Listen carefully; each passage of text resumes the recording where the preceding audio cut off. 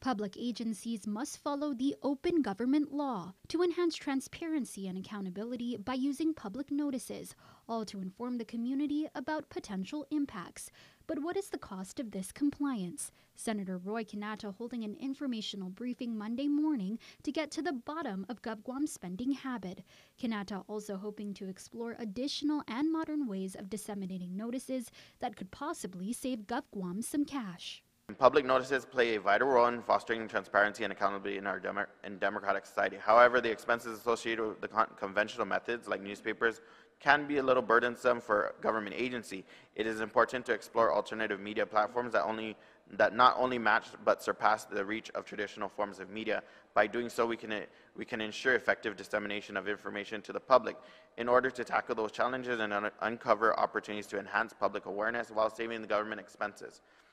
About 15 GovGuam agency heads appearing before the legislature to report how much they spent in fiscal year 2022 2023 on public and bidding notices, not counting the Department of Land Management, whose applicants pay for public notices by way of the Land Use Commission process. 14 agencies spent an estimated $262,548 combined over a two year period. Among the largest spenders included the Department of Public Health.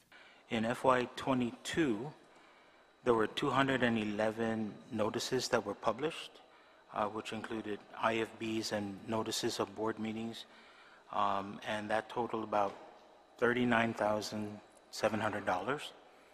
In FY23, there were 133 notices that were published uh, at a cost of about $43,000.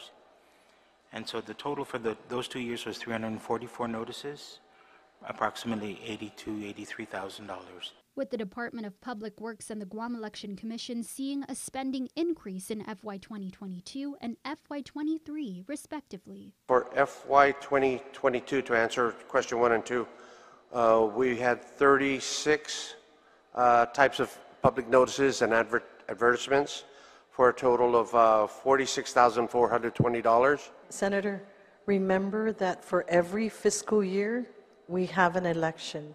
So odd years, we have the primary, and even years, we have the general. So in, uh, we published uh, 30 notices in '23 and 44 notices in '22. Um, We spent $50,715 in '23. Senator Quinata also taking a closer look at the cost of the destruction of stored documents throughout GovGuam agencies, with public health expenses ranking high again. Sanitization and destruction of records, um, it's on an average for two years, 22 and 24, we're looking at about $25,000. It's a lot of records. Jesus Christ, we can buy a, a government official with that twenty-five thousand dollars. I'm sorry, sir? How, how much you guys say? Twenty-five thousand? About 25,000 per year. Jesus Christ. Yeah, we can buy some other stuff with that money. We have a lot, yeah. yeah. Well, we have a well, lot I know you guys. Ha- you're a huge agency. You guys deal with a lot of uh, documentation.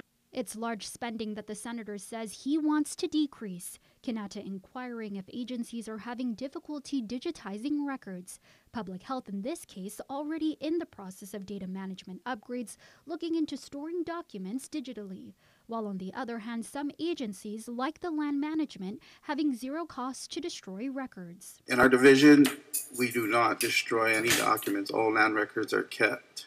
Still, land management, like other agencies, is attempting to digitize documents. The agency receiving an unsolicited proposal to digitize its documents, as only 65% of its records are stored electronically.